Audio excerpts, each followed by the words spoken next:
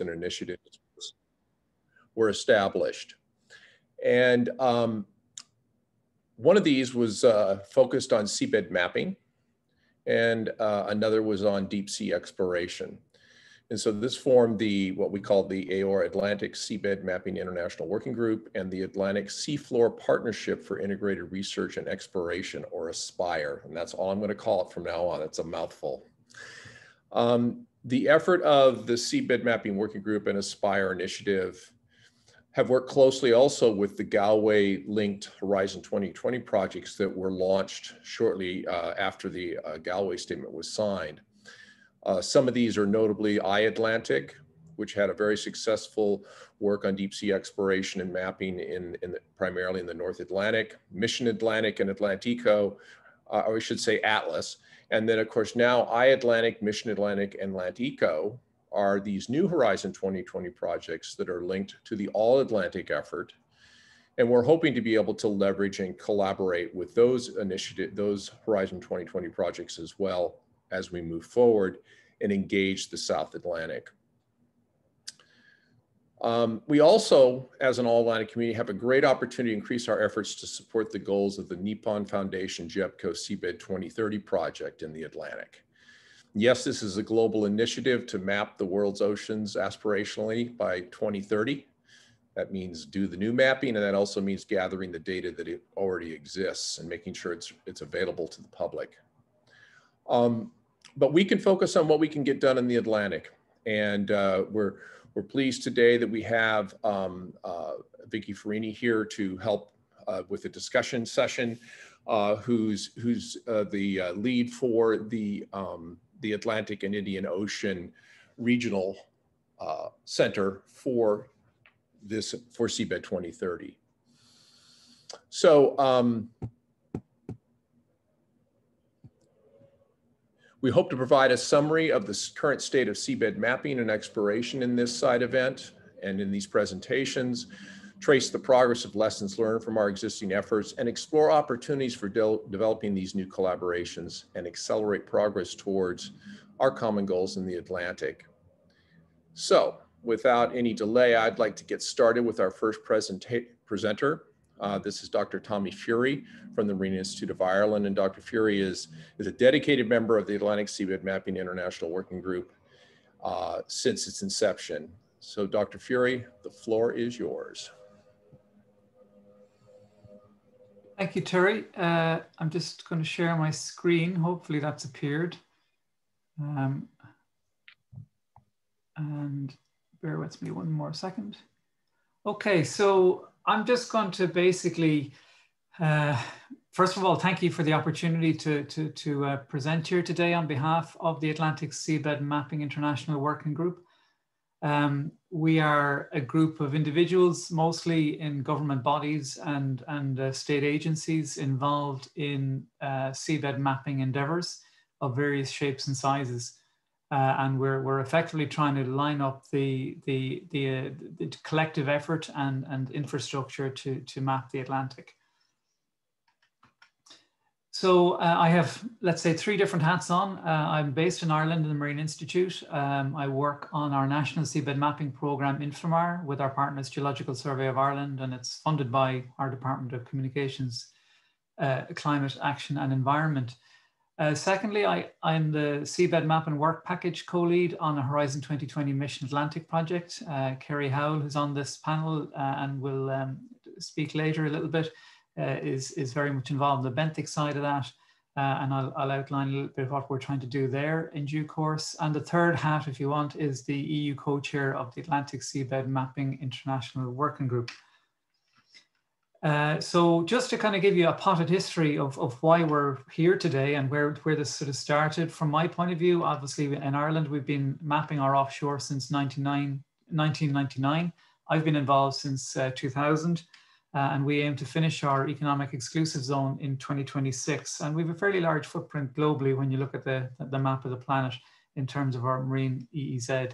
This uh, is the signing of the Galway Statement, which took place in 2013, about 20 meters from where my office is based in Marine Institute in Galway.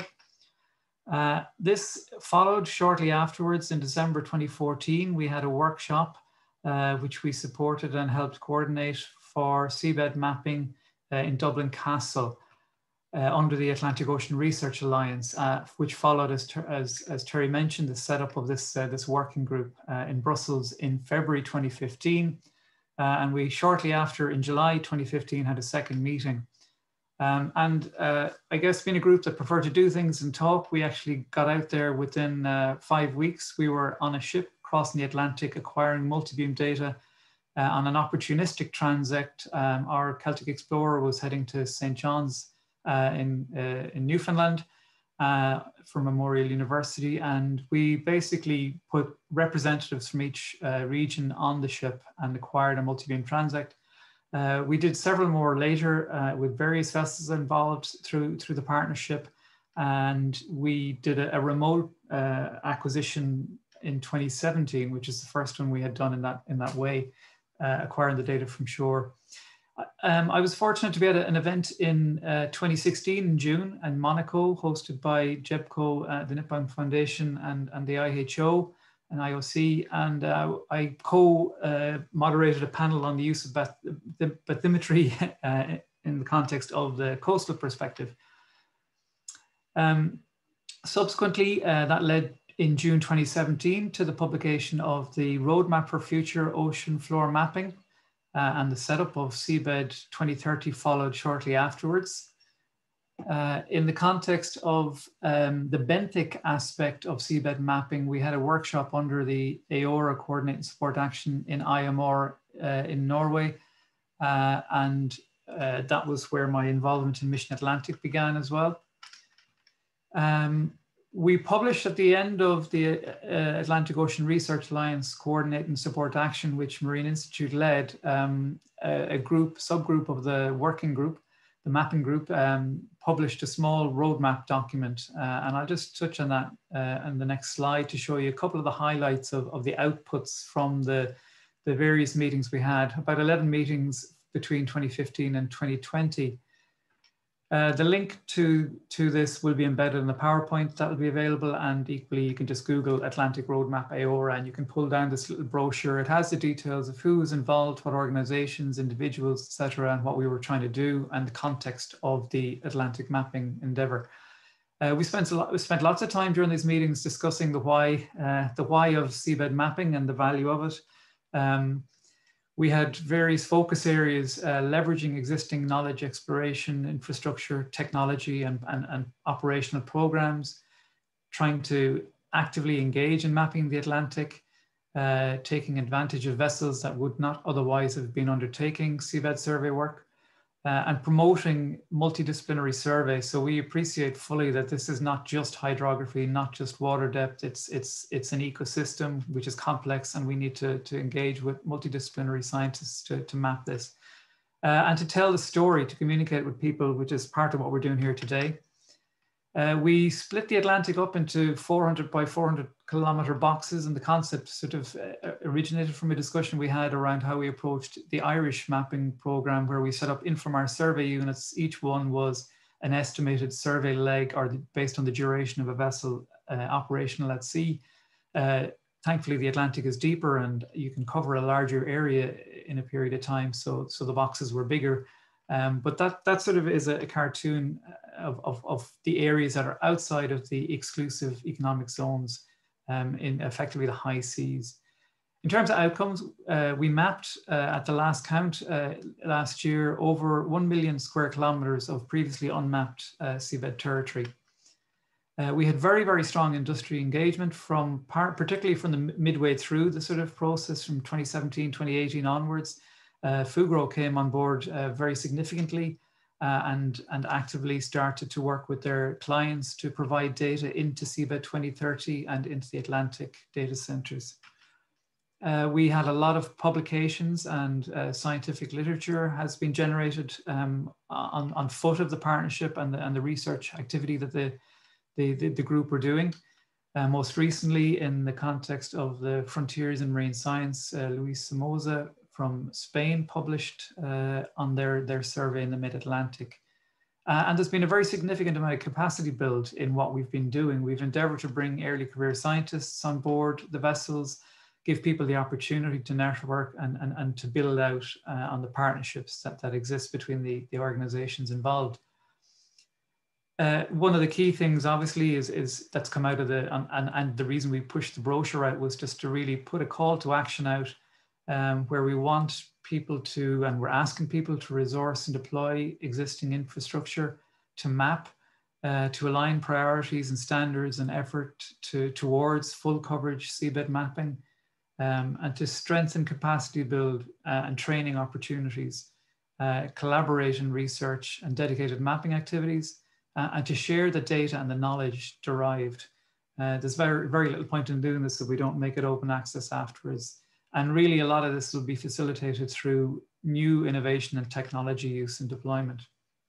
So some of the key messages, just as a sort of a take home, the Atlantic seabed is not mapped. People think it is. Um, uh, the number is incrementing slowly, but we're about at 20% at this stage, uh, indicatively. Um, Atlantic seabed bathymetry and benthic mapping data are the scientific foundation for future ocean governance. And I say that in the context of, you know, the seabed shape influences the actual dynamics of the oceans.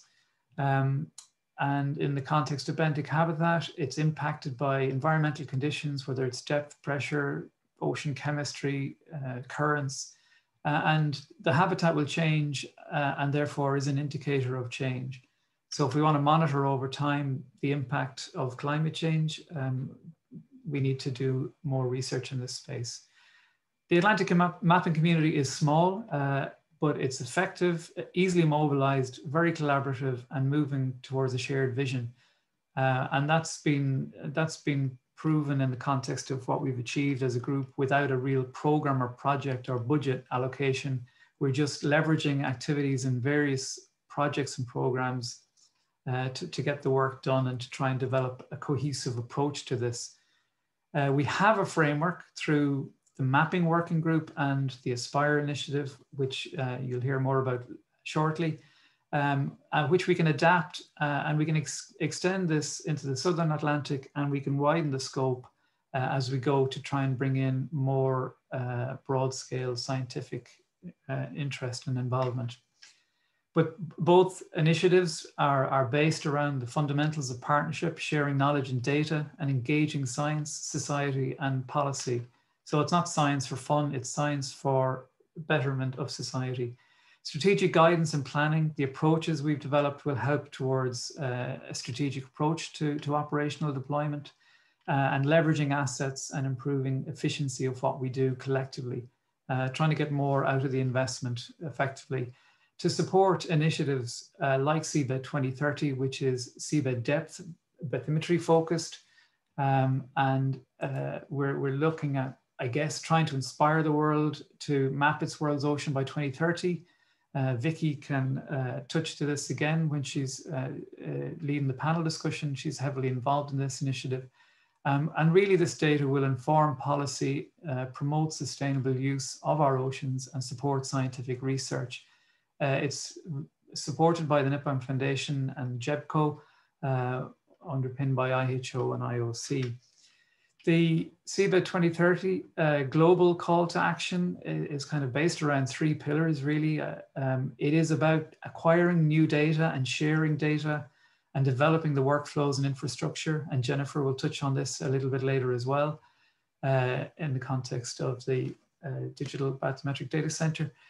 Uh, technology innovation, we have to be clever in how we deploy and develop technology to support this globally, um, but also in the Atlantic.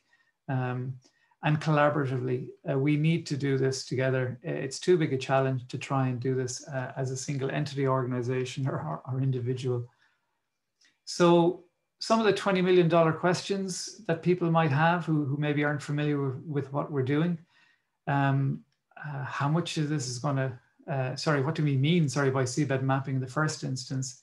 Uh, and, and really we're looking at mapping in the context of a systematic approach, uh, not piecemeal bits and pieces of data acquired by different equipment with different standards. We're trying to develop an approach to systematically map uh, the bathymetry and benthic habitat of the Atlantic. Um, who needs it and why? We all do. Uh, it's fundamental science. If you do not have a map, you cannot make a plan and you cannot manage your marine resources. Uh, you wouldn't do it on land, so why should we do it in the sea? Who should do it and where should we start? Um, industry, government, academia, and society need to engage in this process. Uh, and we have started, as I mentioned already, we've mapped a million square kilometers of seabed that what would not necessarily have happened had, had this process not begun. Um, why should I collaborate or share my data? As a scientist, you work hard to go out and gather your information, but it's little value uh, in the lifespan it will take to, to, to, to better understand our oceans. Uh, a three-year research project, uh, if the data are not shared, will reside on, on, a, on a shelf somewhere um, of little value to anybody thereafter. So it's important that we all adopt an open uh, and accessible data approach to this. And power, there is power in partnership. Um, how much will it cost? Who pays and how? Um, that's the that's the big question, of course. Uh, and we are not at a point where we can answer that specifically yet. Uh, the benthic effort has not been defined. We've done a lot of work in trying to assess the level of work to, to map the bathymetry. Um, how long will it take? Uh, again, we've broken this down into effort days. This is just uh, received last night from Andy Armstrong in NOAA and uh, the Center for Coastal and Ocean Mapping in New Hampshire. Uh, and just that red box in the Southern Atlantic, this is an extension south of what I think Jennifer might show that where we started this process in the Northern Atlantic later. Um, but this is the Southern extent and just that one box, uh, if you look at the effort in each little little little box they're in, the 1608, 618, sorry, operational mapping days to acquire data in that in that area. So that's a significant amount of work. You can't obviously work uh, all year round on one vessel, transits to and, and from shore, port calls, etc., and weather logistics uh, will, will, will, will prevent you doing that. Um, just to move on in the context of Mission Atlantic, which I've directly been involved in, uh, I co-lead work package four on benth benthic mapping and uh, our goal here is to generate new maps of seafloor characteristics in benthic communities and, uh, and VMEs to support integrated ecosystem assessment in case study areas uh, in the Atlantic and at a base, an Atlantic basin scale. Um, we want to develop a strategic mapping approach, uh, which I'll talk a little bit in a minute about. Uh, we want to further characterize the seafloor and the benthic communities. Uh, we want to look at environmental drivers uh, and pressures and their impact on spatial distribution of communities and VMEs uh, and model the spatial distribution based on future predicted climate change scenarios. So it's much wider than just the bathymetry, but the bathymetry is a foundation layer that we need to be able to do this modeling work. Uh, this is a little bit of a graphic, just sort of looking at what this framework might involve. We need to look at survey priorities, which areas are more important for what reason, how do we acquire this, uh, what infrastructure can we use and deploy? How do we get access to it? How do we resource and fund the operational activities? Um, uh, how do we access uh, um, the, the information? Uh, in terms of missions and, uh, and, initiatives, how do we link in this endeavor with, with the political uh, activity and, and initiatives that are happening in the background? we're, we're at the start of the UN Ocean Decade at the moment, and we are contributing data, significant data to that. Uh, in terms of socioeconomics, we really have to look at the, the cost, benefit, and the value of doing this work. Um, we have to look at the societal impact and communicate this to people. Data have to be uh, shared. The process of how you access it is it controlled? Is it restricted? All has to be built into a framework on how we how we do this at a basin scale level. And how do we engage society in this and communicate the value and importance of doing it? What partnerships do we need to have in the room at the table to sign off on what would be an overarching framework? What is the capacity build required? How many people do we need? Do we need people ashore in remote stations driving auto autonomous vehicles? Um, where are the hydrographic and benthic uh, graduates going to come from to support such a scale up of, of, of operational activity?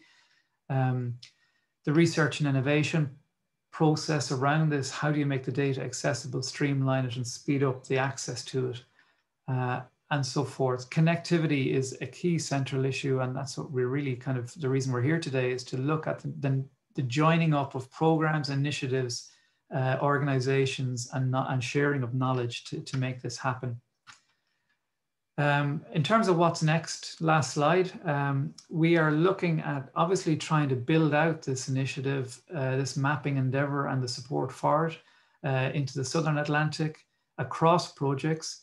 Virla is here today from iAtlantic. I'm representing Mission Atlantic. Kerry's involved in that project and One Ocean Hub and various other endeavors, uh, which are multidisciplinary and, and involve lots of different aspects of marine science and exploration. Um, collate Atlantic mapping initiatives and activities and priorities. We really all need to know where each other are going, when, and what we plan to do there uh, so that we don't end up wasting effort or, or doubling up on, on, on, um, on mapping uh, and, and, and, wasting ta uh, taxpayers' money, for want of a better phrase.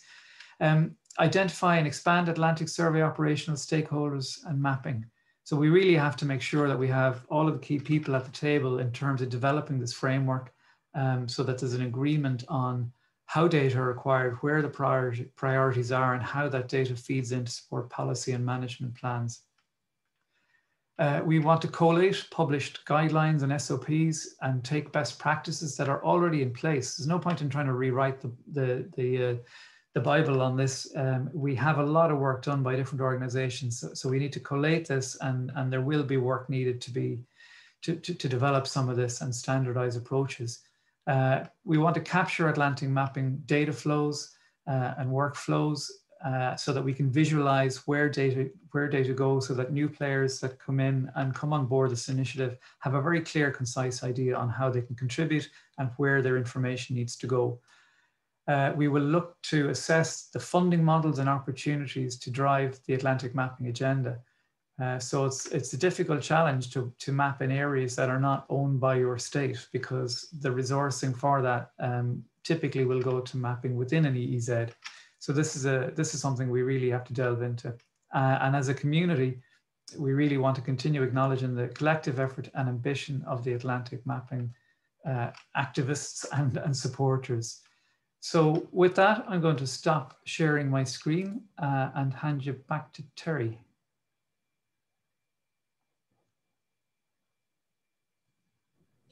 Well, thank you, Tommy. That was a incredibly comprehensive um, presentation. I think you did a good job of really providing background on the history of the uh, of the seabed mapping effort under the Galway Statement, uh, some of the achievements, uh, some of the key achievements, as well as the, the real key and importance of collaboration in moving us forward. I also think he, did a great job of really highlighting how we can now move into the all Atlantic context, try to bring in other partners and leverage opportunity. Also showing that we don't need to necessarily have a nice big pot of money to reach into, although that's nice. Um, but we can leverage efforts across the, across the Atlantic. Also supporting Seabed 2030, an incredibly important initiative to, to, to get the seabed mapping done. And uh, I think finally just showing the need for seabed mapping and, and the, uh, the status of where we are, that we have a long way still to go. So thank you for that. I think I will, given uh, the time, I will think open up for one question uh, and then we'll move, and then other questions can be typed into the Q&A text box and we will get to those hopefully maybe in discussion or we can answer them later. But i will take one. So i'm going to turn to monica. So please do put it in the text box if you have a question. So monica do we have any? Not at the moment but if anyone has a question please feel free to type it in the, in the q&a section. Okay i'll wait wait about 10 seconds or so and see if anybody's got a question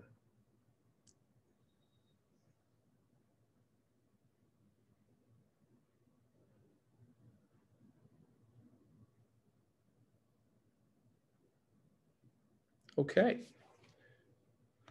All right. Well, if there are no questions, then we will we will move on um, to our next presentation. Um, I'd like to introduce Dr. Kasey Cantwell, who is the Explorations Operations Chief at NOAA's Office of Ocean Exploration and Research. Um, uh, sh she will provide us with a presentation on the ASPIRE initiative, ocean exploration activities and, and opportunities to move forward. And so, Kasey, the floor is yours. Thank you. Uh, let me just, if you guys can just confirm for me when you can actually see my screen.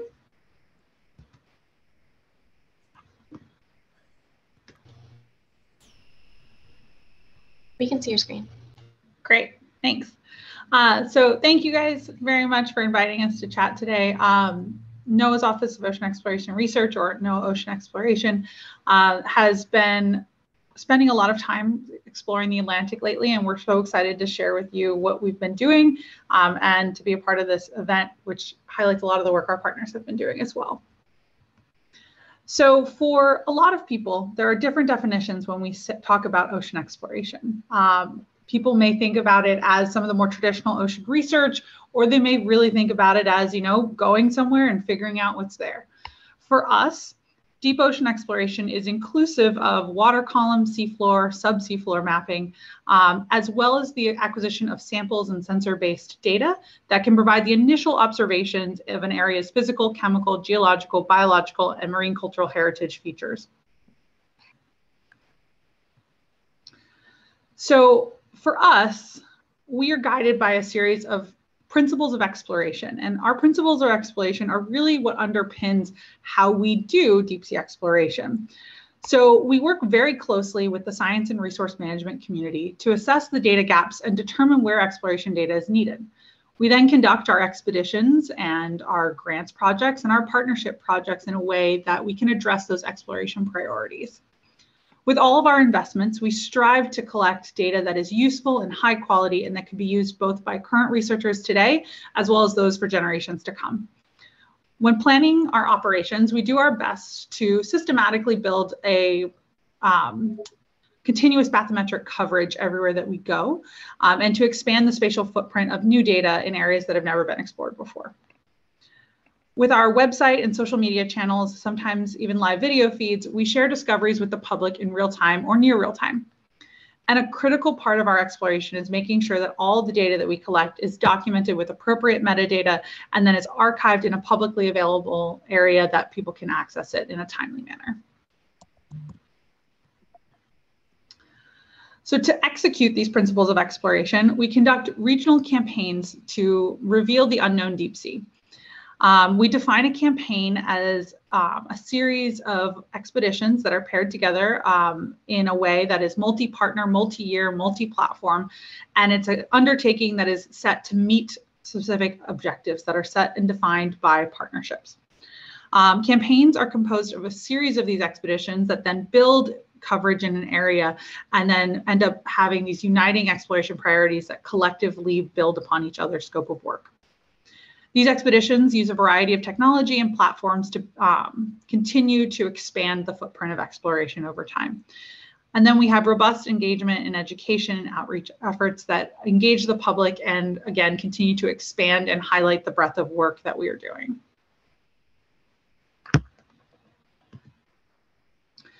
So this graphic illustrates some of the key elements that go into planning and executing a campaign.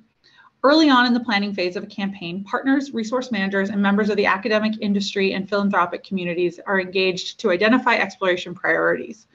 While campaigns can vary in their scale, their size, their scope, and honestly, even in their formality a bit. One thing that is always true, though, that is there is a series of overarching objectives that are identified at this level and early on in the planning phases that are used to inform all the expedition and project plans to come. And then we have additional points of, of contact with these communities and from regional and local stakeholders that give them a chance to provide input into very targeted um, site exploration as well. At the conclusion of an expedition, then data is made publicly available and new discoveries then are going to feed into the planning cycle for the next evolution or the next stages of a campaign. So ASPIRE, um, or the Atlantic Seafloor Partnership for Integrated Research and Exploration, is a multi-year, multinational collaborative field campaign that is set to basically raise our collective knowledge of the North Atlantic. Um, it's providing a foundation of publicly accessible baseline data to increase the understanding of this region. The effort's also providing critical information relevant to emerging blue economy sectors that include sustainable fisheries, offshore energy development, coastal and offshore hazards, as well as others. This effort is coordinated by NOAA, but it's very closely linked to our domestic partners as well as international partners and projects, many of which you can see here. Um, and as Terry mentioned, this project is endorsed by the Galway Statement Implementation Committee. So as I mentioned before, one of the key things that always is true about a campaign is that there's a series of uniting um, objectives or science priorities. For Aspire, this is what they are. Um, we want to improve the knowledge of unexplored areas within both the US waters as well as the high seas. We want to characterize deep sea coral and sponge and chemosynthetic communities and water column habitats, enhance predictive capabilities for vulnerable marine habitats as well as submarine geohazards, expand bathymetric coverage in both US waters and international waters, particularly in support of Seabed 2030 and the National Strategy for Ocean Mapping, Exploring, and Characterizing the US EEZ. And we want to increase the understanding of deep ecosystem connectivity across the Atlantic Basin. So to date, Aspire has included um, nine ships. We've executed 300 or 430 days at sea. Um, we have mapped over 300,000 um, 300,000 square kilometers and conducted 143 vehicle dives, so ROV and HOV um, and AUV dives. And you can see here the number of projects that are currently um, part of the Aspire expedition. So one thing that's worth noting here, though, is that while much of Aspire has been focused on um, domestic US waters, there's also been a significant international collaboration and investment in the high seas. We've structured key expeditions um, or sort of field efforts that are um, meant to engage our international partners as well as to work in um, both international, um, in Canadian and Portuguese waters, as well as in the high seas. Um, and then while we've been doing all of our work domestically, we've been ensuring that all of the data and samples that we've collected will feed into greater um, international efforts. So this is a really good model, though, for um, other nations that are looking to develop their um, domestic exploration efforts, but also still contribute to international efforts. So one of the benefits of a, taking a campaign approach is that the mapping and exploration that is done each build upon each other and that you have a, the ability to continue to grow and expand the footprint of exploration um, throughout time. So here you can see a series of um, mapping surveys that were done um, on the Blake Plateau. This is just offshore of Florida, Georgia, North Carolina, and South Carolina in the US Southeast coast. Um, these surveys were conducted over a series of years by NOAA Ocean Exploration and some partners. And over time, we have built a continuous bathymetric service in this area, which has revealed one of the largest deep sea coral provinces um, that we have found to date. So in terms of the why Aspire works, um, you could talk about for days about all the discoveries that have happened over um, this campaign since we started in 2016. But the key things that make it work are that we have unifying priorities and messaging, that we're able to leverage partnerships, and that so many people were willing to come on board and to work with us as we try to execute these partners, these projects. Um, we take advantage of complementary capabilities. So um, a lot of you may have worked with us through our work with NOAA Ocean Explorations, um, missions aboard Okeanos Explorer, or you may have worked with one of the other partnership projects that we have funded or supported throughout these projects, um, throughout this campaign as well. Um, the other thing that has been really successful is cross-pollinating of personnel. So we've been working directly with our partners to make sure that we are constantly talking to each other as well as sharing data, but then also making sure that we're actually physically interchanging personnel so that people get a chance to see um, in real time what's actually happening on board the different platforms. And you get a chance to really make sure that the, all the SOPs and the processes um, are sort of shared amongst partners. In terms of what's next um, for Aspire, uh, in just a few weeks here, we will be heading out to the high seas to explore the Corner Rise and New England seamounts. Um, that'll be June 30th to July 29. Um, this is one of our pledges that supports um, the All Atlantic Forum. Um, and this will be a telepresence enabled ROV and mapping expedition. So for those of you that are interested in participating, please do. Our expeditions on board the Okeanos Explorer are open to the community um, to participate. So we invite you to join us. And then in the fall, we'll do a little bit more work to close the gaps on the Blake Plateau, um, again, offshore Florida, Georgia, North Carolina, and South Carolina.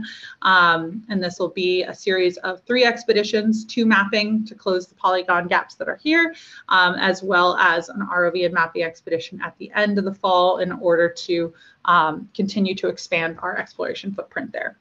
Again, these are definitely expeditions that are open to the community and we welcome active participation from all of you.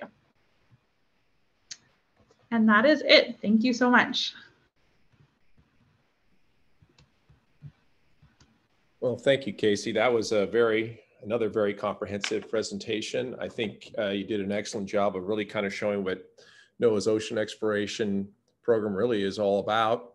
Um, and the history of the Aspire initiative. And I, I especially liked, uh, and the accomplishments to date, which is impressive, but also why Aspire works. I think that's that's a key message. Why does it work? How do we get bringing the cl- the collaboration together, getting the partners together? And there's no reason why we can't think of this as also finding ways to do this in, throughout the Atlantic, not just in the North Atlantic.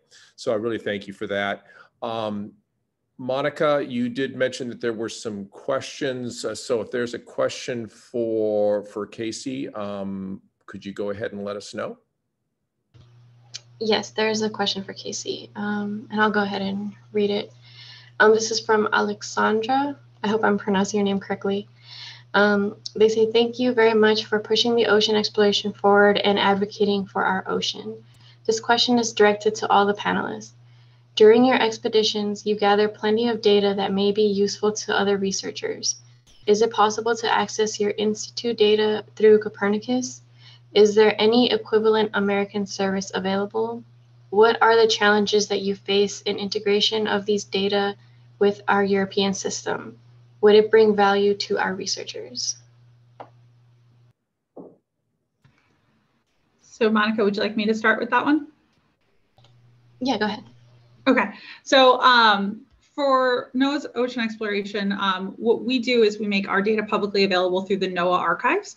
Um, so our data that we collect sort of by our own expeditions and our own operations are available typically 90 days or so after the expedition and they're public. Um, we view our role in the community here as really collecting data on behalf of everyone versus looking at it for one PI's project. Um, we do also sponsor a series of grants, which is much more traditional exploration research. Um, and those are usually about a year to two years or so delayed in releasing their data, but we do have a requirement that everything is made public.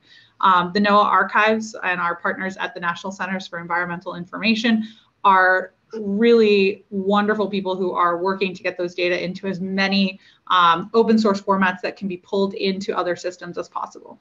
I know um, probably Jen uh, Jencks, who's on this call, can probably answer a few of those questions a little bit better than I can. Um, but we do strive our best to make our data public and open source so others can pull it in.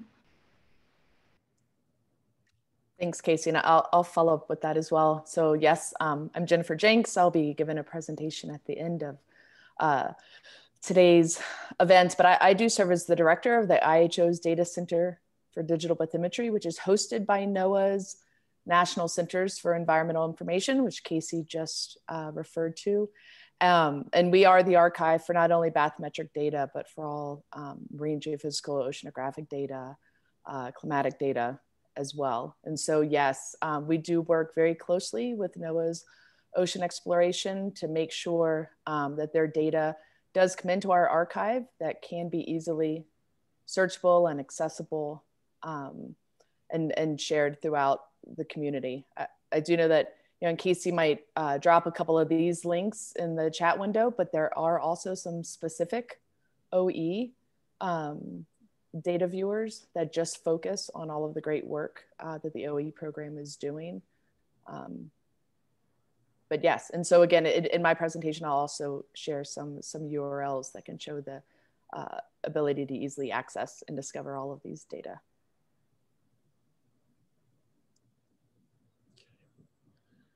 Oh, thank you, Jen. Um, Monica, we do we have uh, another question? Yes, we had a question um, regarding Tommy's presentation. And this was um, from Agwu. I hope I'm pronouncing your name correctly.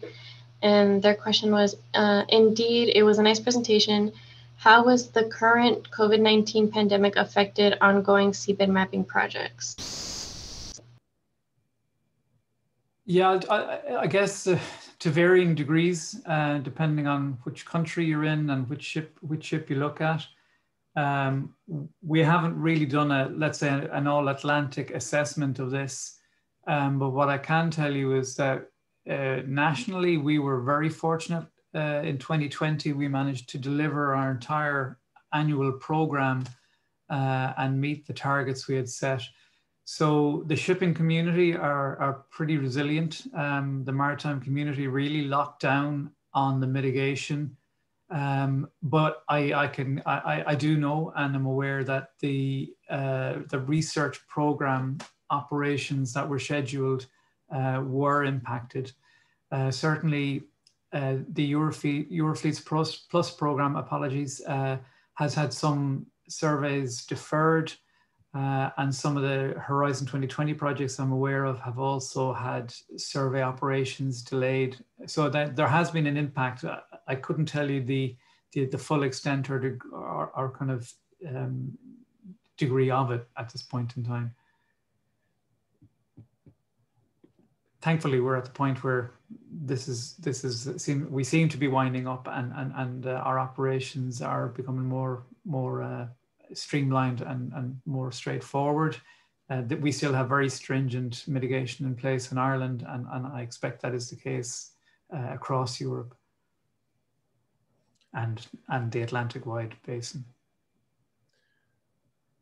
Okay, well, thank you, Tommy. Um, I think we're going to uh, move into the panel discussion. Um, and if there are relevant questions, those can hopefully come up then. Please, uh, again, type those into the Q&A box. And if you have them directed to a particular person on the panel, uh, please so state.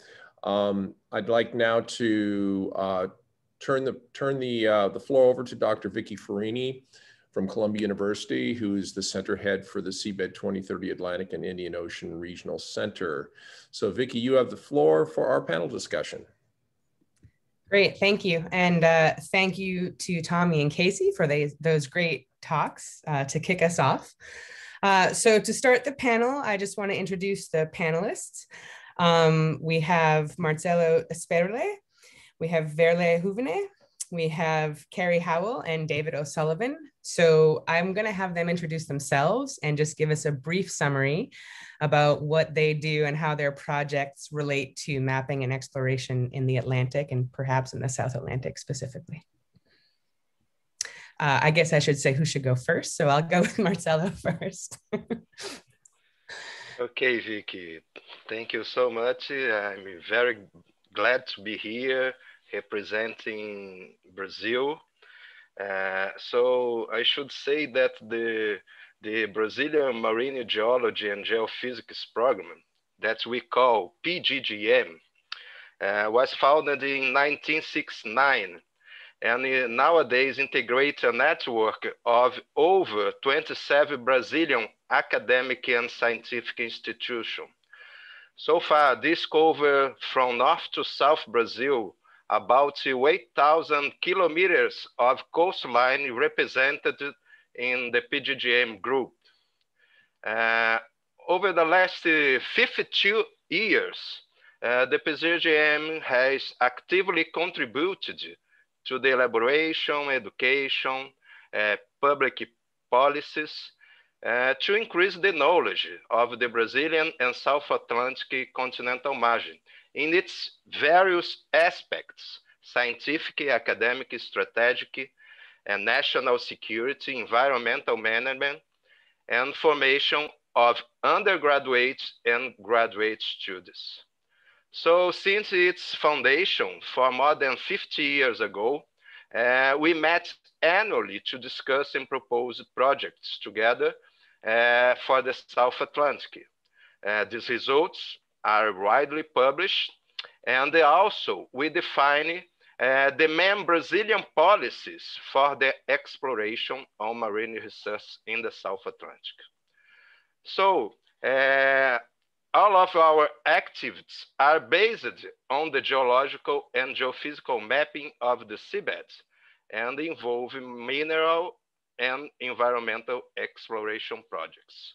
So we have a, a very wide network, scientific network uh, that we could help a lot, uh, we think, in mapping the South Atlantic. That's all. Great, thank you. Veerle? Hello, good uh, good afternoon, good morning, uh, wherever you are. Um, so I'm Veerle Huvenne. Um, I'm a principal uh, researcher and team leader for seafloor and habitat mapping at the National Oceanography Center in Southampton. Um, and so in, in our institute, we have several uh, um, projects and, and programs on seafloor mapping, where we heavily rely and use um, the latest developments in robotic technology. So we, we contribute a lot towards the development of robotic technology to support our mapping work. We contribute also to, uh, as I said, the large programs like Seabed 2030 EMODnet bathymetry and so on. But today in the, in this panel, maybe um, like like Tommy said, I'm, I'm, wearing several hats, but I'm mainly wearing the hat uh, of our contribution to the iAtlantic project. Um, so I'm, I'm also leading the work package on, on mapping in that project. And so again, Tommy has um, already um, uh, refer to that, iAtlantic is one of the Horizon 2020 projects funded under the BELEM statement. So with, a, with an explicit remit to uh, extend our Atlantic research into the, into the South Atlantic as well. And the aim of the project is to create an integrated assessment of the iAtlantic ecosystems in space and in time. But uh, iAtlantic therefore focuses specifically at the open ocean and, and the deep ocean, um, the benthic system. Um, the project has five objectives and you can read more about it in, in a PowerPoint that will be um, shared with, with the people in this webinar um, at the end of the webinar. Um, but one of the objectives is ocean mapping, uh, seafloor habitat mapping, uh, and in, in that context, we, we aim to work at three nested scales. So we, we have um, activities at the basin-wide scale. We also focus on specific uh, key regions. And then we have uh, some of the most innovative uh, and um, new development work at very local scales. Um, so in terms of mapping, uh, we include collection of new data. Uh, we try to unearth uh, data sets that have been um, gathering dust on people's shelves for, for years and have not been accessible. Um, we also um, use that data towards uh, the development of habitat maps, um, species distribution models, predictions under future climate change. And as I said, it, uh, it also includes an uh, important uh, component of technological development. Great, thank you. Um, how about David? Hi, how you doing, folks? Uh, my name is David O'Sullivan. I am Irish and I work here in Infomar and the Marine Institute. I work with Tommy Furey, who's just ever given the introductory speech there. Um, so I work with the value added program of Infomar and the development of seabed maps and how they're used within multiple marine sectors. Um, I'm a marine biologist by trade, so I would have interest in fisheries and habitats and how seabed maps can be used to delineate habitats. So there's obviously a lot of expertise in the group here. I'll leave the experts in the group talk about that, but about 10, and I'm also here to talk as uh, an early career scientist. and about 10 years ago, when I was coming out of college, I realized that seabed maps could be used to to study habitats much better than um, snorkeling around them. So um, I'm going to talk about about how I got from A to B to C and ended up on a transatlantic survey representing my continent to go into the Arctic Circle and have led a Sea Rover survey, which was a very comprehensive assessment of Ireland's marine biodiversity as a chief scientist ROV study very much. That should do it. Great, thanks. And finally, last but not least, Kerry. Thanks, Vicky. I'm Kerry Howell. I'm a deep sea ecologist from Plymouth University in the UK, and I'm head of the um, Deep Sea Conservation Research Unit. And uh, the mapping work I'm involved with is really very much focused on producing maps uh, to support a marine spatial planning and spatial management of the marine environment. So we spend a lot of time mapping the distribution of species and habitats uh, but bathymetry mapping is the basis of, of all of that. And so this, this work of mapping the Atlantic is extremely important. Um, we've been doing a lot of work in the South Atlantic of late as part of Mission Atlantic that Tommy's already introduced. Uh, so I won't cover that again. Um, but also uh, um, two other programs, uh, One Ocean Hub, and also the Blue Belt program, which are both UK funded. And, and that work's been focused um, particularly around the UK overseas territories of Ascension, St Helena and Tristan da Cunha in the South Atlantic. Um, but through the Mission Atlantic program and the One Ocean Hub, we're working with partners in Ghana, uh, Namibia, South Africa, Brazil, Uruguay and Argentina to try to produce uh, South Atlantic uh, comprehensive habitat maps, both at broad scales and very fine scales, um, using things, uh, as Veerle mentioned, like species distribution modeling techniques. Um, and so, yeah, we're really uh, very uh, excited to be here and just cannot speak highly enough of the importance of bathymetry mapping. So thank you. Great, and I guess I'll give just a little more context about myself. Um, as has been mentioned, I lead one of the regional centers for Seabed 2030 focused on the Atlantic, hence my involvement with this group, uh, but also the Indian Ocean. I'm also very deeply involved with data management and bathymetry and subsea floor data for the US academic community. So uh, my roots run deep in all of these kinds of data and bringing it together and making it interoperable and accessible. Um, okay, so what we're going to do for the next 20 minutes or so um, is maybe 25 if we're lucky, have a bit of a conversation about some of uh, some topics that maybe we can um, provide some success stories on, some lessons learned that can help inform uh, the scaling up of mapping efforts and collaboration really throughout the entire Atlantic Basin. Uh, so the first question, which will really be open to all panelists, and again, we really want this to be a conversation, is uh, what role can international research projects play in mapping the Atlantic? So anybody that wants to start, I'll just let it be free form. and if nobody speaks, I will, but I'm sure you have things to say. I'm, I'm happy to take that on. Um, as I'm representing a, a large uh, international research project, um, or several large international research projects, I would say in my, in my view, um, they can really be a driver for new collaborations across, across the Atlantic. Um, put a few scientists in a, in a room together and give them a, um, a subject to talk about and they'll become they'll, they'll, very quickly start making connections and, and interact and, and that will grow into a, a stronger network later. So uh, again uh, it has been mentioned in the presentations this morning before uh, the precursor of the iAtlantic project uh, which was called Atlas actually uh, was very instrumental at um, setting up the, the Aspire initiative because uh, the first Proto Aspire meeting happened in the framework of, of one of the um, Atlas meetings. So it, it's, a, it's a vehicle to bring people together. Um, besides that, large research projects are um, a chance to launch research expeditions uh, and most of them will include some form of bathymetry collection um, or will give a platform which we then can um, use for at least some opportunistic uh, bathymetry data collection along transit lines or something. Um, and scientists tend to go to uh, places that not many other people tend to go to. So in terms of filling the, the boxes on the Atlantic map, um, we we tend to go to places that are not visited very often and, and therefore there is more chance to fill, fill the boxes that otherwise otherwise might stay empty.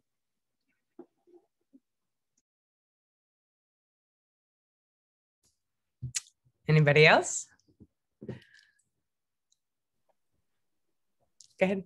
I'm looking for a raise hand button, but I can't find it. Just speak. Pretend um, we're in the um, room. yeah, no, I, I, mean, I couldn't agree more with, with Veerle. I think these um, international collaboration is, is absolutely key and it presents an opportunity to network. And, and again, you know, through Mission Atlantic, we've made contact with uh, folks uh, who are interested in habitat mapping in uh, you know in Brazil and through that uh, to to Argentina and then um, through the One Ocean Hub equally from from South Africa making contacts in Uruguay. And it's been it's it's making those networks and those networks are so so important to to what we're trying to do here because it it, it requires a, a huge level of coordination and collaboration um, and also relationships and trust between partners. And um, and that takes time to build up, I think. And so these, these international projects and, and, and you know, having funding to work together on a common project and common goals, you know, builds those relationships and builds that trust. And I think it's, um, yeah, imperative going forward that we continue with these, with these large international projects. Yeah, and I'll add from my perspective uh, with my Seabed 2030 hat on that these are the kinds of activities that really lay the foundation for what we're trying to do. We're trying to build on efforts at local, regional scales to really help us achieve our global goals. and it's the good work of all people all people working in this space that we can put together where the the the sum is bigger than the whole you know everything together is much a, a much better answer and a much more complete uh, solution i guess um, any other comments on this question yes vicky uh, I, I, I could say that in our projects we deal uh, mostly with marine geology and geophysics in an integrated way. So it will be very important to be partners of the Aspire for the mapping in the South Atlantic.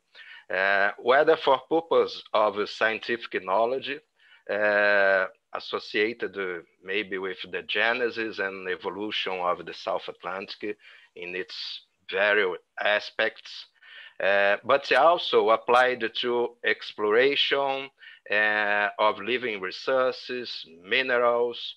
Uh, we have a number of projects now in Brazil where we are exploring the high seas. so therefore, seafloor mapping, we think is the basis for all our hydrographic, oceanographic, geological or geophysical projects. And uh, of course, uh, the South Atlantic is very wide. Uh, we have many lakes to fill.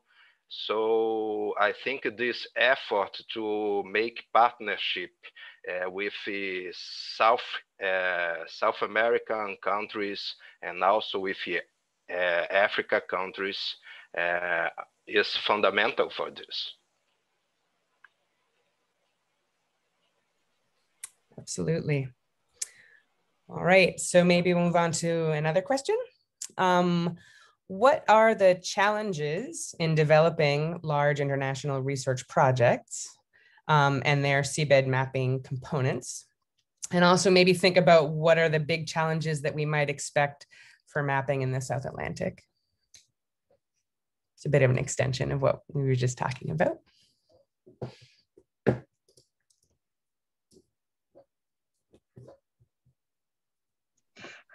I can start again. and actually, I'm going to pick up on something that Kerry mentioned already. Um, she she dropped the word funding, and I, I think that's actually um, to go and map. I mean, the Atlantic Ocean is is a vast place. So we've heard the, the the metrics of how much is mapped only and how much still has to be mapped. And these are big expeditions, um, big operations. Um, so a, a good funding model is is really necessary to, to get the ships out there and to do the mapping.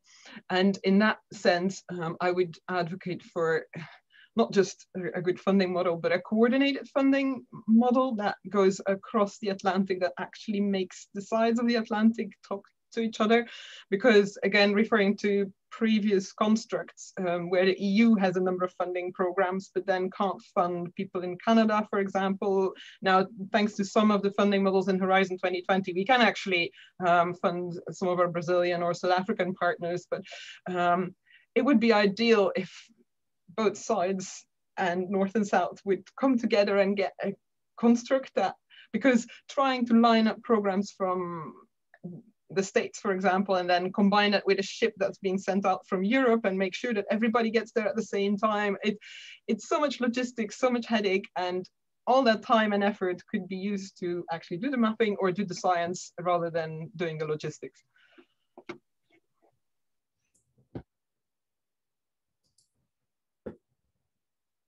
Yes, I, I agree totally with this. Uh, uh, see, uh, here in Brazil, we, we have the experience of uh, participating of very large expeditions in the South Atlantic, uh, working together with American and European agencies and universities. Uh, but, you know, here in the Southern Oceans, we don't have a, very wide infrastructure. Uh, I mean, uh, we don't have dedicated research vessels uh, for uh, doing this mapping. Uh, at least in Brazil, Uh, in the Brazilian continental margin, I would say we have a very, very good infrastructure. But to go to the high seas, Eh, for sure, uh, we'll need eh, to make partners with you from the North Atlantic mainly, because we'll need to share ship time in this research vessel. but of course, we have a plenty experience uh, to work in this large expedition, as I said, in the South Atlantic. So I think it will be very productive for everyone. Gary. Yeah, I think that that access to ships and resources is a is a big uh, a slightly bigger challenge in the South Atlantic than it is in the North Atlantic. And the mapping work we've been involved with in the South Atlantic has used um, European vessels coming down from the North Atlantic, and it just seems that's you know not not the best way of doing things. And so I think increasing access to vessels is really important, but but particularly for South Atlantic nations. Yeah, so so you know those nations bordering the South Atlantic uh, need access to those vessels, and I think that's perhaps where philanthropy um, can come in and play a role, particularly under the Ocean Decades coming up. Um, you know, the likes of Schmidt Ocean Institute, RevOcean, um, and, and, and others um, are perhaps able to provide access to the kinds of equipment and resources needed to, to do this kind of work in deep water at least um, to those nations who perhaps have less access to uh, that sort of uh, technical capability. So it's about, um, you know, technology transfer, building capacity and, and, and provision of access, widening access. So one thing that I'll add from my perspective um, is, you know, as research vessels and exploration vessels are out there um, doing their work, while it's certainly arguably better um, to be collecting data in a survey pattern, a dedicated survey to really get a lot of data at once. Um, in the US, we've had huge success with opportunistic data collected during transits. Um, and as someone who catches that data and works with it and synthesizes it into product, I just wanted to remind everyone that even if you don't have a sonar specialist on board who'll be processing the data and monitoring the system really closely, it's definitely worth turning the sensor on and collecting data if the system will run, because someone like myself or my group or lots of other people can catch that data and work with it um, it's such a unique opportunity given the vastness of the ocean and the sparseness of data that exist um, we should really be aspiring to collect as much data as possible and really promoting that. Opportunistic isn't the best, but it does give us a huge amount of data coverage um, that when we piece it all together actually creates very coherent maps of the seafloor.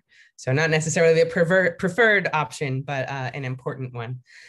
Um, yeah, go ahead. I was just gonna just gonna really advocate that by giving an example. So we've been using opportunistic collected data from the South Atlantic, from the high seas in our predictive modeling work and, and it's been invaluable so it's little patches of information but it's still better than no information so um, so really really just strongly support opportunistic data collection whenever possible um, there's a question in the chat that relates to a question I was going to ask. Uh, so I'll see if I can um, summarize it a little bit, which is, uh, is there uh, a consistent logical sequence from data acquisition to information interpretation and modeling, such as integrated ecological assessment models and habitat mapping. mapping. Um, this involves technological development, but also development of new data treatment and processing techniques. Um, so I guess, uh, I guess the first answer is mapping first uh, tends to be what's done. And to follow up with what we were just talking about, you know, making sure that any new mapping effort or any new, uh, you know, seafloor work that we're doing that involves maps, uh, that you do some research first to see if data exist, right? And so the IHO Data Center for Digital Bathymetry is a good place to start. And um, Jen will be telling us more about that later. But really starting to work together as a community, which we're seeing more and more um, particularly with the the motivation, I think, of Seabed 2030, but also the community was really moving toward this anyway. The, the timeliness of all this, I think, uh, is very natural, um, where we're exchanging information about collecting data um, in advance or you know being a little bit more open with data holdings before they're fully released and processed. Um, but that was a little bit of a response to this question. Do any uh, of you want to try to address this question particularly i guess with respect to benthic habitat mapping et cetera? Go for it. Um, I, I, uh, I, totally agree with um, uh, Luis Conti, um, that uh, yes, the the first sequence is is um, very important and getting more and more established, um, but uh, trying to get more out of the data through the new technological developments and the new data um, treatment techniques. So that's also why, for example, in the iAtlantic project, within our mapping work package, so it's included, we have this technological development compartment with machine learning, with um, development of new types of camera sampling systems, uh, new modeling approaches, um, new data analysis approaches. Um, because yeah, we, we have so little data about the ocean, we have to squeeze everything out of it that we can. Um, Anybody else? Go ahead. Well, just following on from that, I think, um, as, as Veerle well knows, you know, one of the one of the difficult things uh, in once you've collected, particularly the, the biological side of things. So the, the seafloor mapping side of things is, is the first stage of mapping, uh, absolutely. Um, and then of course you need to put the information on top of that so you get the information on the biology. But but the difficulty with the biology data is it's just so horribly time consuming to process. I mean it, it, it is the the bottleneck you know i see Veerle nodding. It is the bottleneck in everything that we do is how long it takes to process that data. And there's huge huge archives of data that are sitting unprocessed because we just don't have the capacity to get to them. But techniques like artificial intelligence, again in Mission Atlantic, and I think iAtlantic the same, um, you know, looking at applying artificial intelligence to image processing to speed up the uh, rate at which we can pull biological quantitative information from image data so that it can then be used in habitat suitability models and species distribution models, which of course brings the uh, Bathy data back in to predict where species and habitats will be found. And that's how we map the biology. So these new techniques and approaches are, are absolutely critical to speeding up um, the, the mapping of the oceans. And I'm talking very much about the biological mapping, mapping in all its forms. Um, because I don't think the problem anymore is that we can't collect the data. On the biological side, we can collect the data. We, we simply cannot process it at, at the rate at which it's collected at the moment. Um, so that's a massive nut to crack that I know quite a few people are working on, including ourselves uh, in Mission Atlantic. Okay, I'm going to pivot a little bit as we're starting to get a little bit tight on time. Uh, so the next question I'm going to ask David to answer first. Uh, but how has international collaboration on seabed mapping impacted your career development? Um, how are you doing, Vicky? Thanks for that. Sure. I would say there would be a positive correlation between my career in seabed mapping. Um, I'm, as I said earlier, I'm here to speak for early career scientists. I'm in I'm a marine science a marine scientist for 10 years. I don't know if that exactly makes me an early career marine scientist or not, but um, as I said a while ago, not so long ago, I was snorkeling around uh, the south coast of Ireland making habitat maps and counting sea urchins, and that led to a paper which was published and brought me into the Marine Institute. And from there, again, I'm starting to look at the interaction between different species and the benthic habitats and produce studies on commercial um, species of fish like herring and, and nephrops. And the underlying data, one of the most important underlying data sets within all this was, was multi-beam data and how you could delineate um, uh, backscatter and how you could delineate uh, seabed classification, bathymetry, and how that linked to species and environments and habitats. Totally fascinating. And somewhere along the way, I realized that we, Ireland had a national seabed mapping program, which I had to admit I didn't know when I joined the Marine Institute uh, that it was as advanced as it was. Um, I was able to move into that um, and as a career progression, you know, you get to learn things like hydrographic surveys, and this is another, another bow in someone's career or someone's um, CV. And from there, all of a sudden, I'm on this international transit. I'm going across the Atlantic.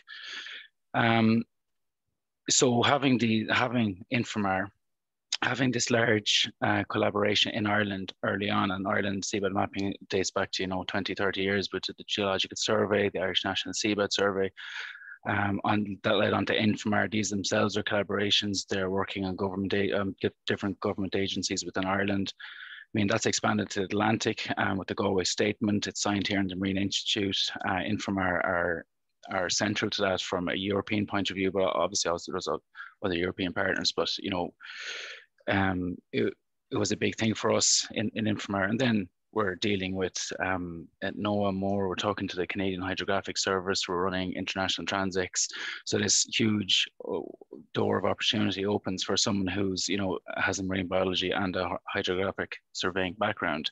So if you can piggyback along that and take your opportunities as they come along, um, and there's there's benefits to it. So yeah, my career has progressed along from there, and then you know we have to be able to in, be in those positions to pivot, to take these challenges, to understand the opportunities when they when you when they come, and that led on to Sea Rover, which was um, a quite a large scale um, collaborative project um, in Ireland where we we mapped the abundance and distribution of um, sensitive habitats, and but that was a collaboration between um, the Irish government, lots of government departments here in Ireland, Plymouth University, I worked with Kerry. She was on a number of the surveys. Um, we had we had lots of project partners, and it would be remiss of me to try and remember to say them all. But this survey came about because of this the, these these partnerships that have been developed over time. And as long as you can, as I said, be in that position to to pivot to to take your opportunities as they come, um, you never know where it's going to bring you, and you never know what you're going to get out of it. So we're sitting now on this massive uh, network. Um, of political people and this abundance and distribution of sensitive habitats, which has led again now to maybe looking into the Atlantic. Are we going to do that further into the Atlantic? So very positively, in a very short answer.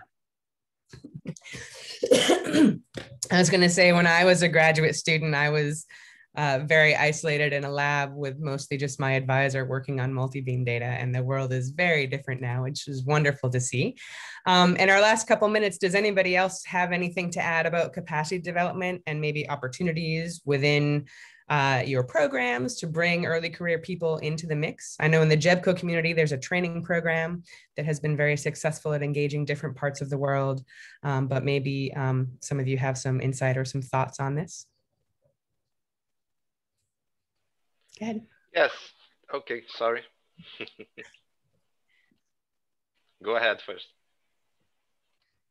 Well, I was just going to say on the on the um, on the capacity building side of things and training side of things, um, I think lots of the large European projects, Atlantic, Mission Atlantic, all, all, have a sort of early career, a huge early career presence in there, um, and training programs for early career scientists, um, which is which is really really great. Um, but I, I think there's an issue around um, training early career people, particularly from nations who have not traditionally been able to engage in deep sea science or, or, or mapping, particularly for, for whatever reason.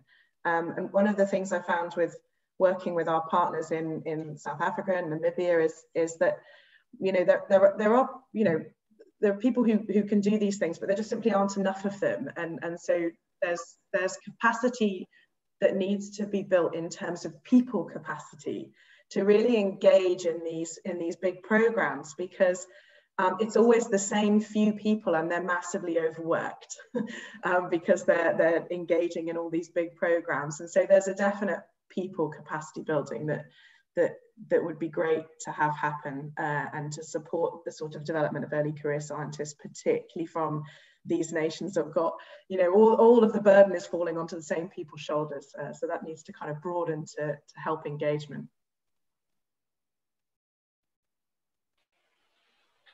Yes, I, I, I could say that uh, since uh, I, I started to work uh, with oceanography by the ends of the 80s, uh, so far almost 40 years, uh, we have also uh, very a very important uh, collaboration with uh, foreign universities in Brazil.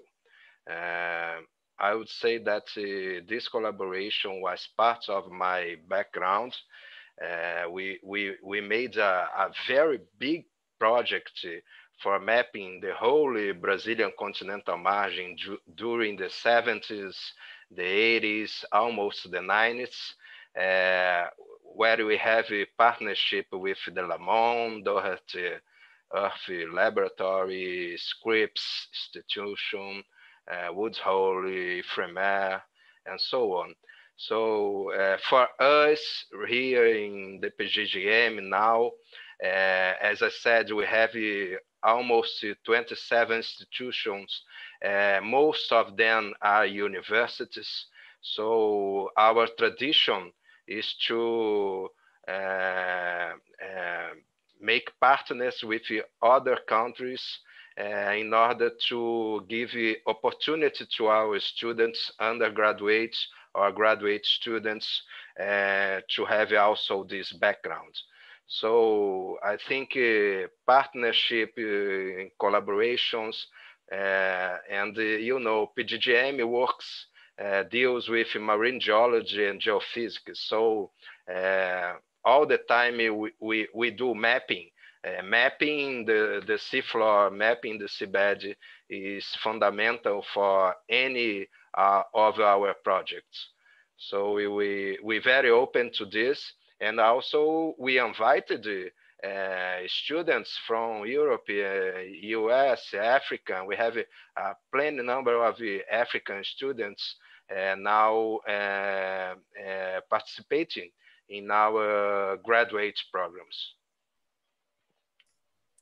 Great. Uh, thank you for that. I am going to uh, end the panel now because we're a little bit tight on time, but thank you all for your contributions.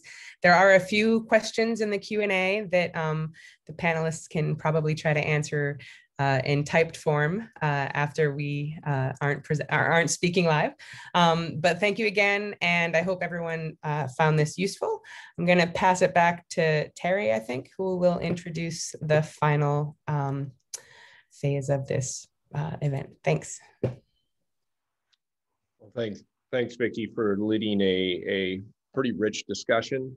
Um, I think we could have gone on for for much longer, but uh, time being what it is, uh, any con any questions that are in the in the uh, Q and A box that didn't get answered, uh, we can see about getting those answered uh, through correspondence following the event.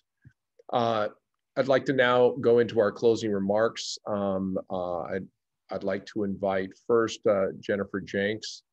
Um, she leads NOAA's, NOAA's National Center for Environmental Information and Ocean Coastal Mapping Team and serves as the director of the IHO Data Center for Digital Bathymetry, which is hosted by NCEI. Um, so Jen, the floor is yours. Great, thank you, Terry take a second here and share my screen. So I'll look to one of you to, I'll look to Terry. Can you give me a thumbs up that you can see my screen? Screen, but it's not in presentation mode yet. Okay, sounds good. Let's see. There we go. I'm gonna turn my video off while I do this because I I'm not always a fan of not being able to to see myself as I present. Makes me a little self-conscious. Okay, so here we go. Okay. So again, thank you, Terry, for this opportunity to speak to everyone today. Um, I'm getting over a cold, so I'm a little a little funny sounding. So please bear with me here. So as we begin to close out today's side event, I'd like to spend a few minutes discussing what many of us believe is a key piece, absolutely necessary if we want to achieve our mapping and exploration goals, and that is data sharing. As Terry said, my name is Jennifer Jencks, and as director of the IHO Data Center for Digital Bathymetry, I am part of a team that strives to make bathymetric data as accessible and discoverable as possible. As we've seen in earlier presentations today and heard discussed during the panel, mapping the Atlantic is obviously no small challenge. The gaps in data coverage are immense, and conversations have been taking place for years over just how exactly to strategize mapping them. There are many criteria that can be considered when deciding how to map the prioritization of a region, but most agree that data scarcity is a key driver. We know that mapping is expensive and time consuming and no one wants to use their limited resources to map an area where data already exists. And yet almost every time this map is shown, or one similar to this, we learn about data sitting on a shelf someplace. Valuable data that could contribute, that could be one of these key pieces of the puzzle that moves us towards our common goals. But the community can't hold off prioritizing and mapping while we hope for these data to make an appearance. We must move forward.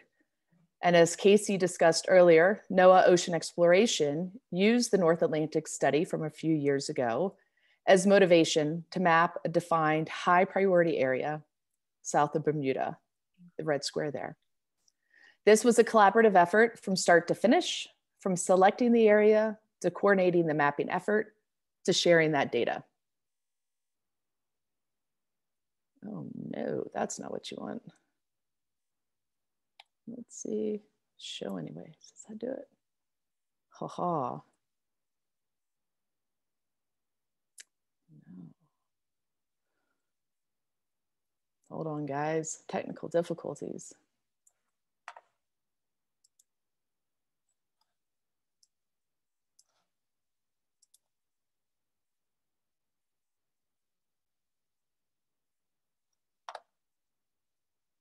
Thank you all for your patience.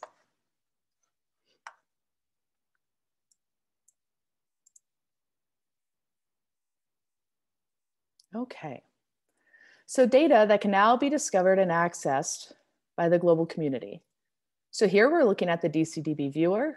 So these are survey track lines in green that indicate the location of multi-beam bathymetric data holdings that are archived here at the DCDB and are available for direct download and access. By selecting, selecting that NOAA Ocean Exploration Survey, basic information can be gleaned from the metadata in the viewer here, and then by clicking the link to data button, the user can go and directly download the data. The IHO DCDB, which is hosted by NOAA, was established 30 years ago to ensure that a public international repository existed, which would accept and manage, archive, and share freely and without restrictions contributed bathymetric data. These data are submitted to the DCDB, typically are not assessed, and reside in our archive as is. It remains up to the users to determine their value and utility for their own purpose. In this way, the DCDB data holdings serve as a world reference for raw bathymetric data, which can be used as the basis for refined and processed products such as the GEBCO Seabed 2030 bathymetric grids. Data collected from opportunistic surveys, which Vicky stressed the importance of a little while ago, are a key data contributor to the repository. Here we see the track lines of bathymetry data collected from the US academic research fleet, both from the research areas and also while in transit. The commitment from Fugro to collect and contribute data during their transits, transits has been truly inspirational. Since 2015, data from 80 transit surveys have been added to the DCDB database. And over the last few years, the IHO Crowdsourced Bathymetry Initiative has been encouraging the collection and contribution of depth measurements from vessels using their standard navigation instrumentation while engaged in their routine maritime operations. These contributions continue to grow as we work to expand the number of participants. All of this is to say that contributions from opportunistic surveys really do matter. You, as Vicky also stressed, you don't need to have dedicated mapping staff on board. There is a community waiting to catch and process and correct these data. And at the DCDB, we're happy to archive these data, either raw or processed, and make them available to the community. What we need is for you to just turn your sonar on. Now, along with displaying the global coverage of the DCDB's bathymetric data holdings, the viewer also provides discovery of data archived at other repositories by ingesting their web services. Here we're looking at the track lines in red of data held by EMODnet. By clicking on any of these track lines, a user can again learn basic information about that data set and then be redirected to EMODnet for direct access of the data. For those of you that are hopefully now super excited at the prospect of contributing data, there are a few avenues to take. The simplest, most straightforward way is this GEBCO web form, which was created with the intent to have a single location to point all potential data contributors to. The GEBCO data contribution form requests very general information about the data provider and data set, and once submitted, will notify GEBCO Seabed 2030 and IHO DCDB data managers of the potential new availability of data. Also included is a direct question asking if in addition to making your data available to the GEBCO project, would you also be willing to have that data archived at the DCDB? Understanding that organizing data can be cumbersome, the DCDB website also provides information and resources to assist you in the packaging and submission of data. We offer CruisePack, which is a standalone data packager designed to simplify the process through the use of a simple UI with pull down menus. And the software generates your metadata records and creates straightforward and consistent data packages.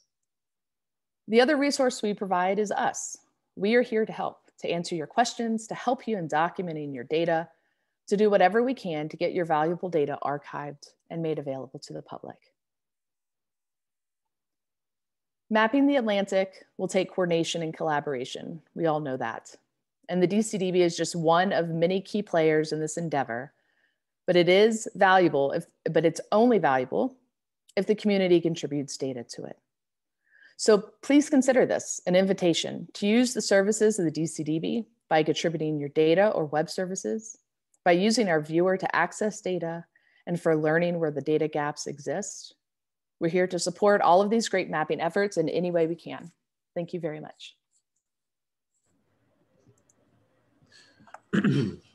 well, thank you, Jen, uh, for that for that great presentation. The importance of the data, knowing where the data is before we go out and do do new mapping, and and and really the importance that we're going to have to work together get, get, gain access to all the data that is currently available.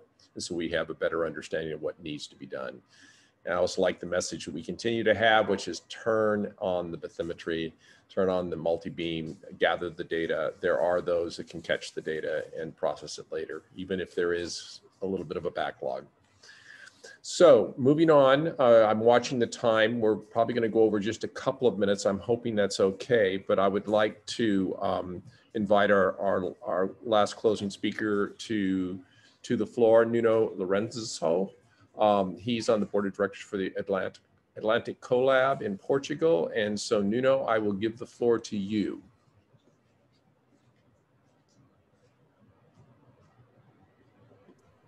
Nuno, you are on mute. Thank you, Jen.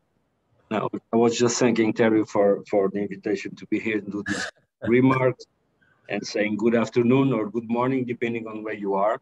Um, I think uh, this was a, a fantastic uh, um, session. And uh, we all know, as uh, we are here participating, the importance of having sound seabed mapping and ocean exploration data, Kasey style, as she presented it, for marine sciences, for many applications in marine sciences, and for any actions concerning preservation, conservation, exploration, exploitation, marine spatial planning. So this is foundational data where we build upon our, our work. So this, this session came in, in a, a timely manner. It's, it's really important we had this, this session uh, as to be able to evaluate the results or assess the, the, the results of the collaborative efforts that have been going on in the past and looking forward to see uh, which steps should be given now to stretch this, this uh, early uh, uh, collaboration between East and West on the north to East, West, North, South to stretch it to the whole Atlantic and to achieve hopefully a, a, a, an all Atlantic bathymetric map.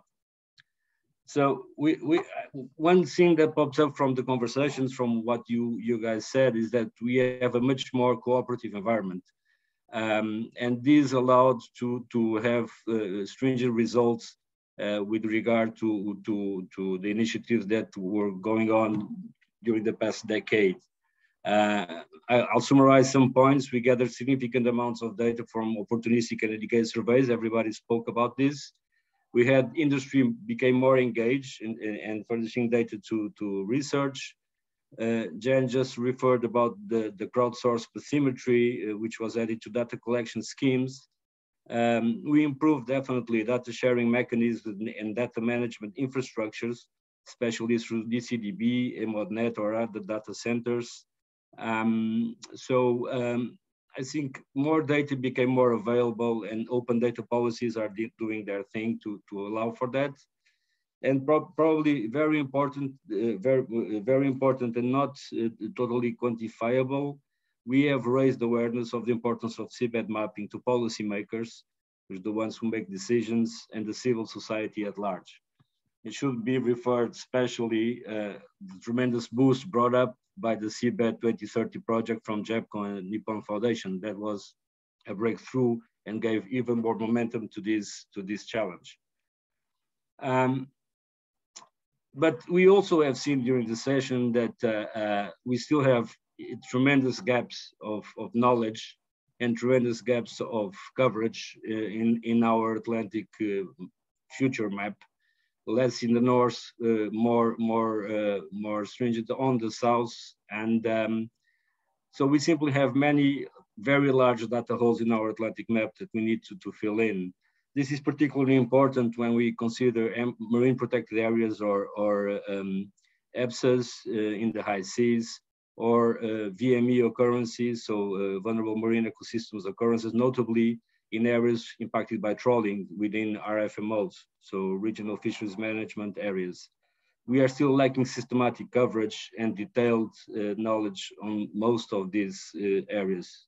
So in short, we still have a tremendous amount of work to do.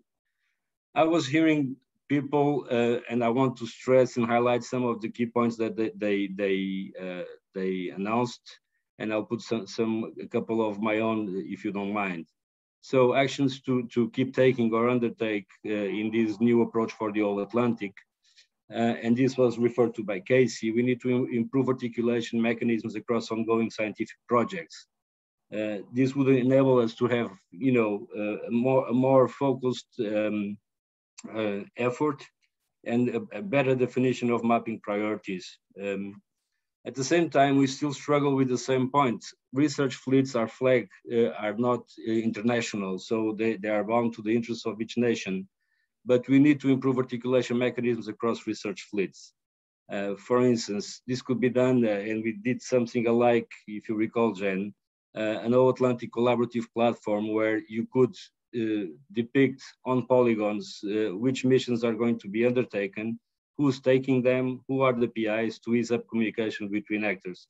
What we don't want is like we had in Lucky Strike in Mid-Atlantic Ridge axis in the 90s, where you had about three or four systematic surveys over the same areas. This is simply not efficient. Uh, although a lot is being done in terms of cooperation mechanisms between North and South, uh, we need to improve the proximity of research communities.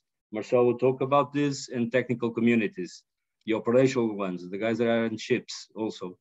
Um, we know that the, the, the, you know, research infrastructure and capacity across the Atlantic is asymmetrical.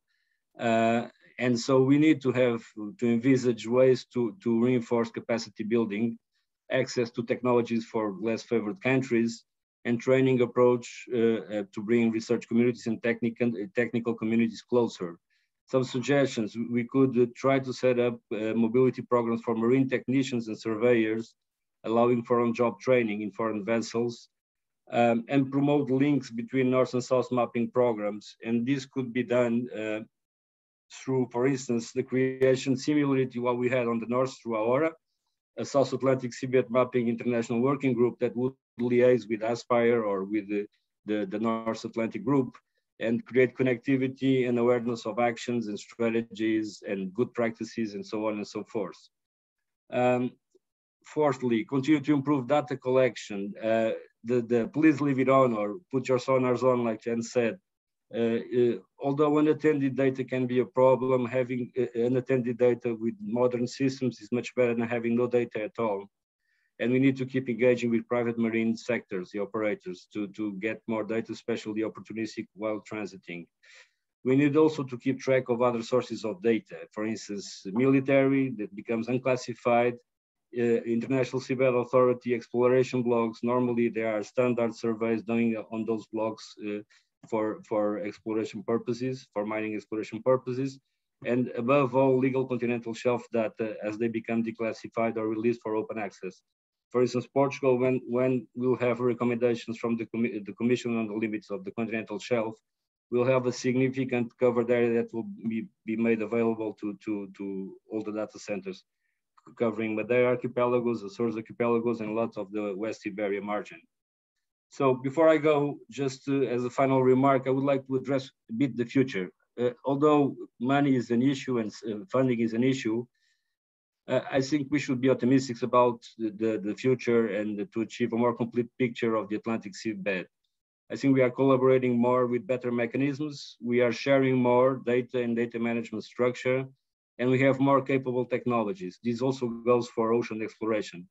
You can envisage that we are getting new submarine observatories on Europe through EMSO, uh, complementing the ones on US, Canada, China, Norway, etc we are having a new generation of submarine cables which can be instrumented for science and, and able to retrieve some uh, essential ocean variables on the deep sea.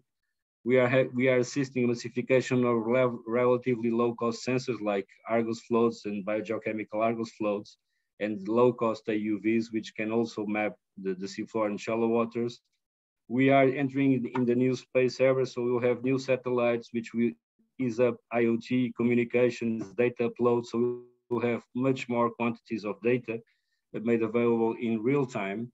And we'll have better robotics, better autonomy, com more compact sensors, which will enable uh, approaches which are not science fiction anymore about fleets of unmanned surface vehicles, particularly with, with research fleets, with research vessels doing mapping on the seafloor. We are not there yet, but we are getting there. So to, to wrap up and to end, uh, all in all, it's up to us, the Atlantic mapping and research community to keep the drive, the collaboration, the momentum going, keep pressing decision makings for, for, for clever, clever uh, choices to complete in the best way possible the seabed mapping of the Atlantic, at least in areas beyond national jurisdiction. Thank you. Well, thank you, Nuno, for those uh, excellent closing remarks. I think it uh, lays out the challenges, the actions, and the opportunities before us. But I think uh, most of all, it lays out the uh, the need for us to continue the conversation. Um, this event, uh, as as wonderful it is, um, will not be effective if we don't continue the conversation and look to move forward as an all Atlantic community in these endeavors, both in mapping and in exploration. So I lay that challenge out before us as well, and perhaps we can we can think about over the, the in the future of maybe potentially holding a workshop, finding a way in which we could conduct a workshop to bring partners in and and continue this conversation and and define some actions we can take. I want to thank all the uh, speakers today uh, for for their and the panelists for for taking their time to present and to discuss uh, this important important uh, information. I want to thank Vicky for uh, for uh, coordinating the, uh, the, the, panel discussion. I want to thank Monica for coordinating the overall um, event and, and helping us get all hooked up here on Zoom. Um, and I want to thank all of you for taking time out of your schedules to join us. Uh, sorry we went a little bit over, but hopefully it was well worth your time. And I want to say thank you very much.